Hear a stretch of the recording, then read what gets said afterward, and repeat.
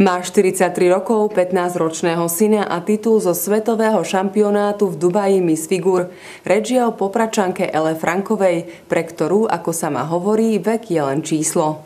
Ela si prešla zaujímavou športovou cestou, na pódia sa vrátila po 9 rokoch. Pretekala som už v podstate ako 17-ročná ako dorastenka medzi kulturistkami, takže ako v mojej kariére mám naozaj všetko. A teraz po tých 9 rokoch prešla som na naturálnu figuru fitness. A hneď si vybojovala jednu zlatú a striebornú medailu. Dubaj bol pre ňu veľkou životnou výzvou.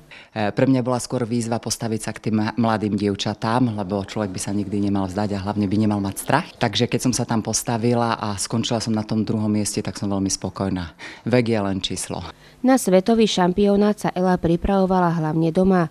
Jej posilovne je hlavne štvorizbový byt. Príprava v 90% prebieha tu na doma. Mám tu jednu lavičku, ale hovorím, je to 25-ročná práca na mojom tele. V týchto dňoch Popračanka už začala prípravu na ďalšiu súťaž.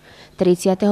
októbra sa predstaví na majstrovstvách Európy v talianskej Bolonii. Každý má sny, ja som takisto snívala ešte pred XY rokmi. No a v novembri na ňu čaká Olympia. Toto je taký môj vrchol, ale nehovorím, že vtedy skončím.